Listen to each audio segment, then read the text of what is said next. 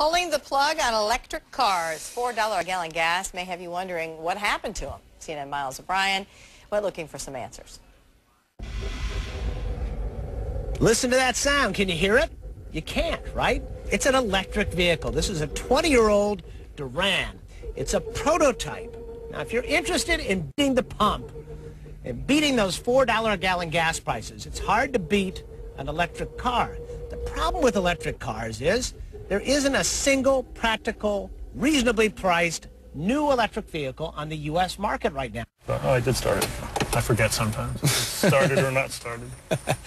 Once you get Mark Geller started on the subject of electric cars, there's no stopping him. So it really doesn't inconvenience you. There's definitely no inconvenience, and there's a tremendous amount of uh, pleasure in passing gas stations and watching the price rise. Mark's been breezing by gas pumps in San Francisco for seven years. This is his second all-electric car, a used plug-in Toyota RAV4. Used because right now there isn't a new practical electric car on the U.S. market. Is it frustrating? It's incredibly frustrating. It's frustrating because every day I meet people who would like to be driving this car. Ten years ago, Detroit seemed positively plugged in.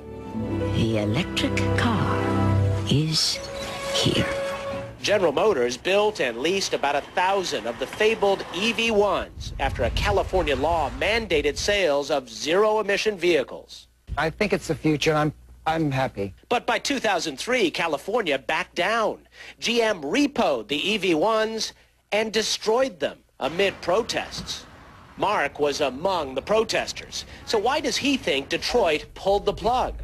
I would say because they are fearful of how disruptive plug-in cars will be and how unattractive their old product line will appear. Mark says a fully charged battery takes him 120 miles. Normally, a charge overnight at home is more than enough to get him through the day. And here's the kicker. Mark works for a solar power company. His own roof is covered with solar cells. As soon as I got the car, I realized now I understand why this makes sense. I can create my own electricity. Would you call yourself an electric car zealot? A So to go- zealot might be a little strong, but I, I truly believe that this is a, a, a, an option consumers ought to be able to, to purchase.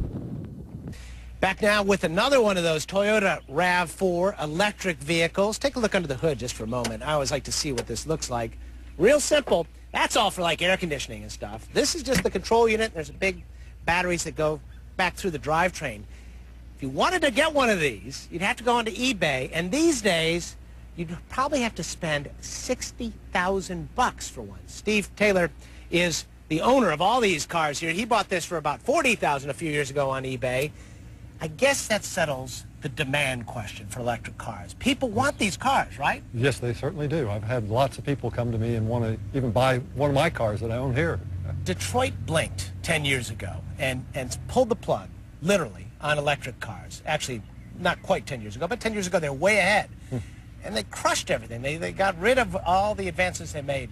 Um, you have to wonder if they'd kept going with the electric cars, where we'd be now. Have you thought about that much? Yeah, I would think that we'd have an electric car that would go 300 miles, be comfortable, have all the amenities that we're used to, lightweight, uh, fast. That would be great. In other words, all the versatility of internal combustion. Let's go down and look. This is the only one in his collection here. You can't get these anymore. These are retrofit Metros. This is the only vehicle here you can buy new now. And it's really not. I mean, it's obviously a single-person commuter car. It's expensive, $35,000. Yes. It's, it's called the Sparrow or the NMG for no more gas. No more gas. Um, who's this for and does it, does it really answer a need? Well, it's a single-person commuter car. Uh, they'll go about 60 miles now with the lithium batteries. Uh, uh, most of the people in America drive by themselves to work, and that's what was designed for. And most people drive about 30 miles per day. So when they think about electric cars, they think, oh, that's not enough range, but probably it is, Yes, right? it is, yes. It's not the car you're going to take to see the Grand Canyon from Atlanta, No, right? Definitely not. But as a second car, a commuter car, this might be an option. Perfect. As for you, what, what do you say to people who say, well, hey, the, the electricity that, that uh, cr- um, is generated to juice this up is comes from coal. It's no cleaner. Well, actually, it is cleaner. Uh, the, the power companies are constantly being uh, made to make the power cleaner and cleaner, and And a coal power plant charging an electric car is probably just as clean as a Toyota Prius. So we're, we're ahead of the game on that. All right, well, I'm, I'm going to take it for a quick test drive. This thing will do what now in speed? 70 miles an hour. If you dare. Have you ever taken it to 70? Yes, I have. And it was scary. I bet it was. You wearing your helmet? Yes. All right, I'm off in the Sparrow, and I don't know if I'm going to take it 70.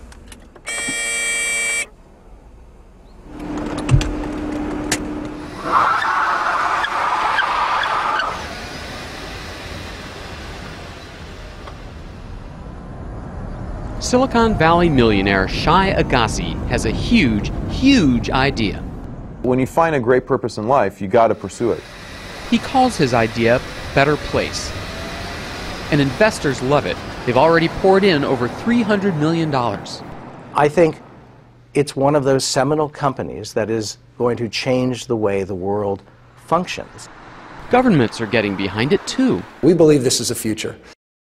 Okay, so what is this big idea? Solve the climate crisis, create jobs, and eliminate our dependence on foreign oil. All in three easy steps. Step one convince the world's car companies to manufacture electric cars that have removable batteries. You'll, you'll plug in a cable and that's it. Because I'm, I'm used to when I'm finished filling up, I, I like to shake the hose a little bit. Well, you can squeeze the electrons. Step two convince governments to install millions of charging outlets. And they will be at home, they'll be at work, they'll be at downtown and retail centers. And by the time you came back to your car, it's topped off.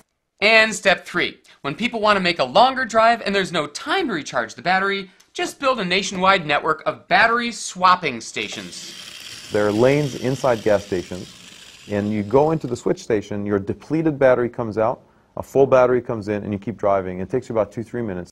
See? Easy. All Shai Agassi has to do is oversee one of the world's largest global infrastructure projects, replace 2 billion gas cars with electric ones, and then convince you to buy them. And has nobody said, by the way, this is crazy? Oh, uh, about 9 out of 10 people say it's crazy, but the other ones are actually saying, where can I put my money?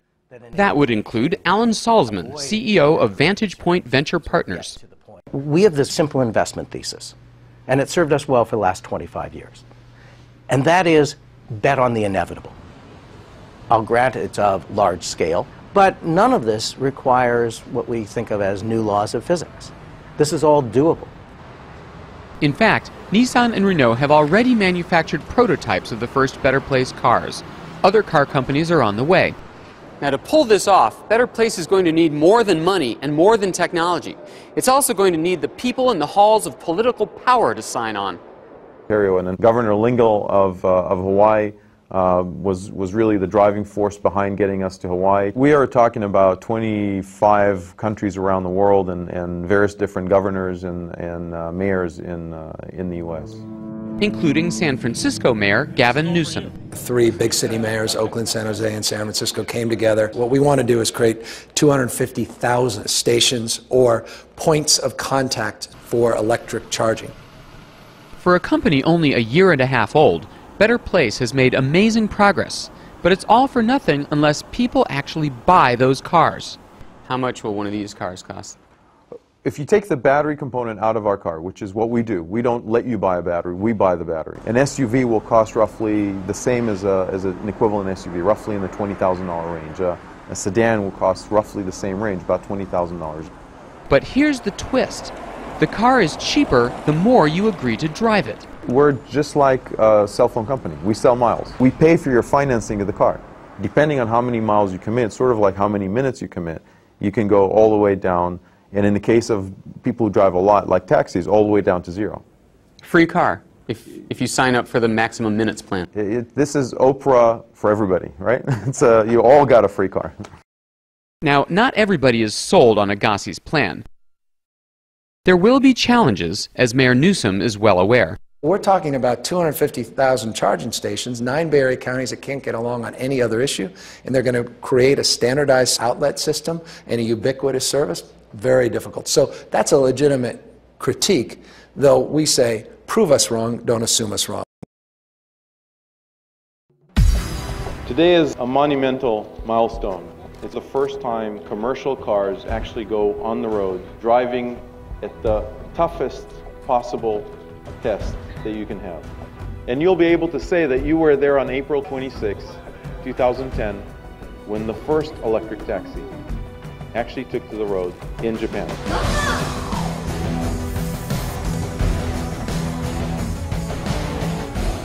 The first EV taxis will be able to switch their batteries here.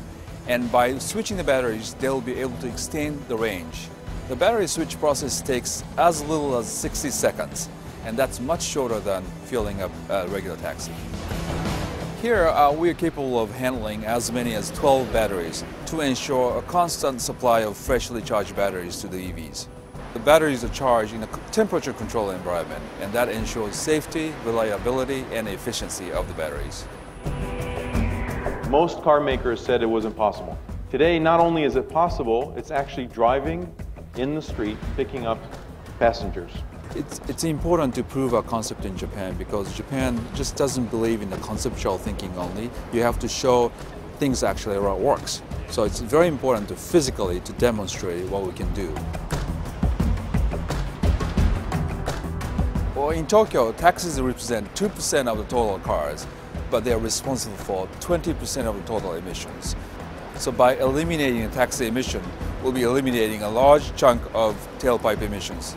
If you have a taxi driver going in Tokyo, every day we've done 30 demonstrations to 30 different people that electric cars are better. And I guarantee you they're going to ask the driver, does this thing really work? And when they say not only does it work, it works better, it's quieter, I actually like it better than my older taxi, you got the ultimate demonstration.